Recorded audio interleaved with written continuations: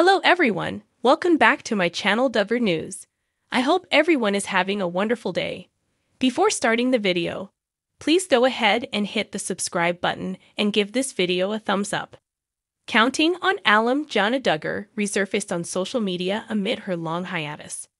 She appeared during the Duggar family's Christmas party. However, the 33 year old caught the attention of many with her new look. Some even think that she looks totally different after her long absence.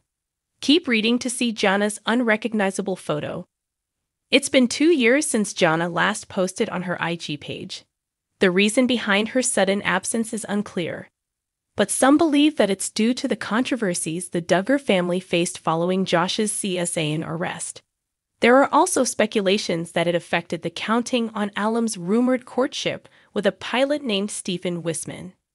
Several photos of them looking so close together surfaced online. She even celebrated Christmas in 2020 with the Wissmann family, but things suddenly went silent between the two. Some Redditors reacted to Jana's recent appearance at the Duggar family's Christmas party. Jason uploaded a photo with his friend and his sister.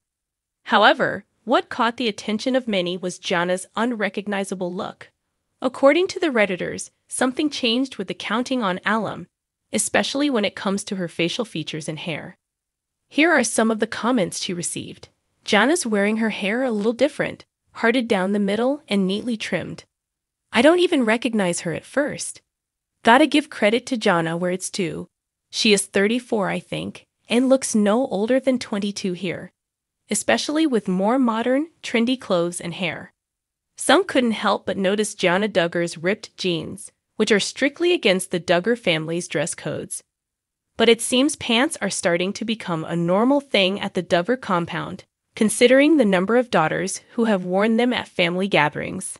Aside from the Christmas party, John has also been spotted multiple times breaking the family's dress codes last year. At one point, the counting on Alan was spotted in a beautiful black dress that didn't hit below the knee while shopping at a local store. She regularly wears pants during her get together with some of the Duggar kids as well, one of which was during their all girls gathering in April 2023. Michelle Duggar herself has also defied the family's dress codes.